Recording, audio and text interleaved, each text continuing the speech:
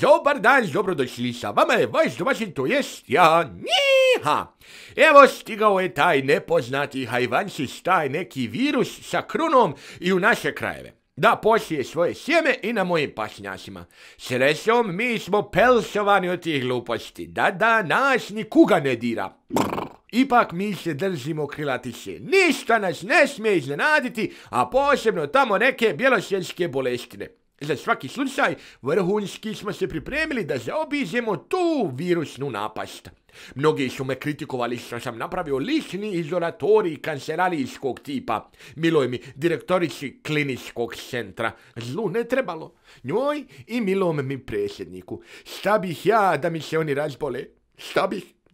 Naravno i krdu smo spremili mnoštvo izolatorija. Malo smo posjetili memljive i ruinirane školske i bolničke objekte da smjestimo sumnjive, ako ustreba. Ma ne bojim se ja za krdo, ono je otporno na te ljudske viruse. Ipak moram istaći da se radujem što nam braća kinci, mislim kinezi, poslaše to divno stvorenje da zaustavi ama baš sve, da prekini rad škola i trgovina, da obustavi proizvodnju i taj suludi trend putovanja tamo vamo. Treba krdo da odmori od poslovnih i društvenih obaveza. Neka ih, nek se malo samo izoluju u krugu najmilijih. Kad mogu moji političari, pa može i krdo malo u karantin. Ha ja, ostajte dobro, zdravo i raspoloženo.